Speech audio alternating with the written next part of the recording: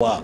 Numa doença como a influenza, né, como outras, é, é, é, se, é, outras doenças que surgem em determinada época do ano. Então ela está controlada, as vacinas deram certo, os testes foram bastante procurados no dia D, entretanto aumentaram os casos, mas não que dê motivo para alarme e nem para medidas excepcionais. Talvez o uso de máscaras, campanhas educativas, orientações seja o melhor caminho. Nós estamos monitorando, cada dia é um dia, né? Cada dia é um dia dia. É, vai acelerar a vacinação. Então a programação do carnaval continua. continua. Por enquanto continua.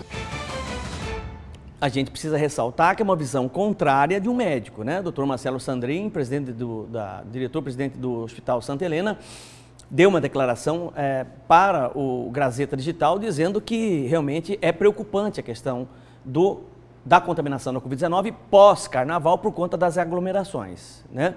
Nós tivemos nós triplicamos ou quadriplicamos o número de pessoas com Covid-19 de dezembro para cá. Essa é a visão né, do, do médico, doutor Marcelo Sandrin. O prefeito Emanuel Pinheiro não enxerga dessa forma. Ele enxerga que não tem que preocupar, não é, não é assim alarmante, não precisa ter pavor, que realmente é, tudo indica que nós não tenhamos aí um aumento considerável nos casos da Covid-19. Da COVID Segundo ele, está controlado, está absolutamente tudo controlado. Vamos torcer para que realmente né, a coisa fique, continue controlada mesmo, né? Apesar de eu acreditar mais no médico do que no prefeito, né? Porque o médico tem uma certa expertise, está acompanhando ali. Segundo o prefeito, aumentaram os números de casos porque as pessoas fizeram mais testes, né? É, mais pessoas buscaram os testes de Covid e, consequentemente, aumentou a estatística, a estatística de pessoas é, com a Covid-19. Mas, enfim, né? eu acho que a gente só não pode negligenciar, né?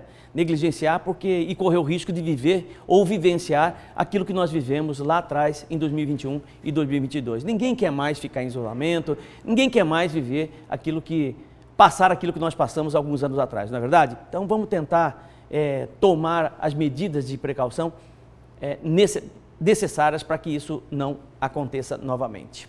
Mudando de assunto, o coronel do Exército Etevaldo Luiz Cassadini Vargas, suspeito de ter financiado a execução do advogado Roberto Zampieri no dia 5 de dezembro do ano passado, aqui em Cuiabá,